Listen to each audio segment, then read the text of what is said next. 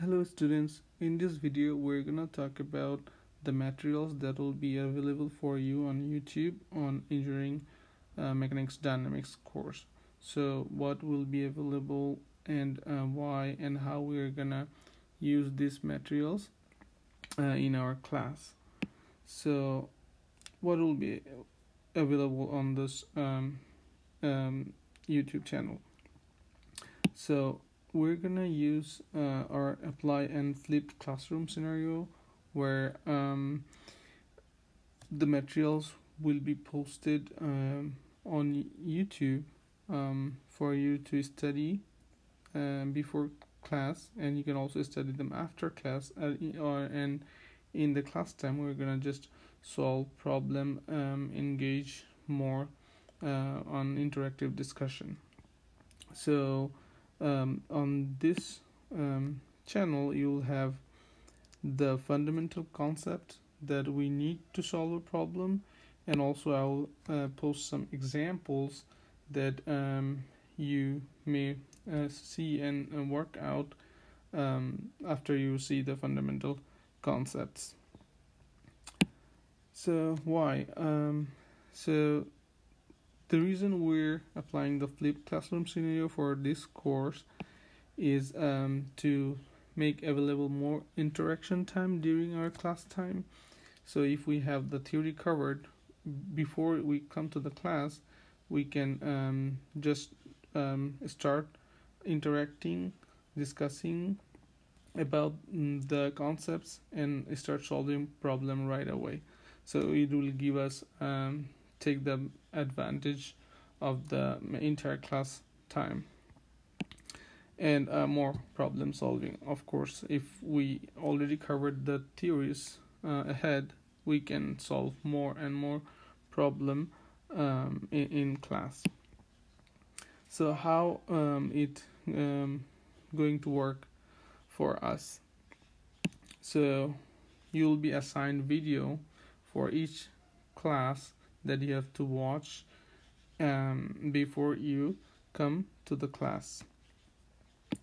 Um, so one thing to clarify is that um, the videos that I'll assign you to watch uh, and study before you come to the class is um, no way replaces the textbook. So you have to have your textbook when you watch the video, and there is um, three different way you can um, I can suggest you to watch the video for example. Uh, you can watch the video um, while you work out all the steps in your um, notebook so it'll be easier for you to uh, understand and um, learn the material. Um, or you can uh, second you can do you can watch the video at the same time um, with the book open so you can pause and read the book and come watch the video. And um, you learn um, with the video and book together.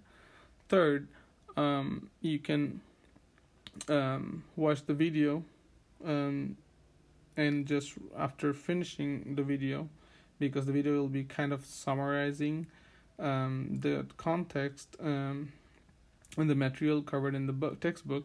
So you can just see the video and afterward you can read the book and uh, work out um, in your notebook to understand and then learn the material.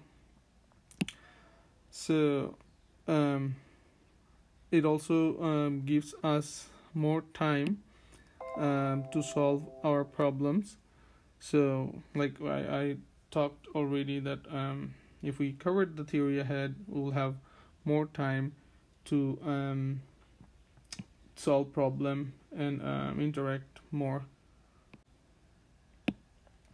And um, last but not the least uh, you will be assigned quizzes um, every class mm, uh, at the beginning of the class um, on the video that was assigned to you um, and the quizzes will um, be part of your grade.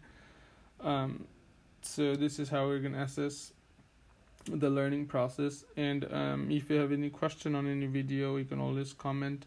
Um, and I would suggest um, to subscribe the channel. So um, if there's a new post a new video posted uh, you'll always get notified.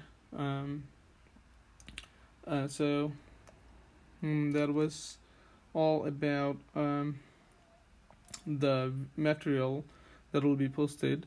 Um, i'm really excited about you all and um, mm, looking forward to the semester. See you in the class. Thank you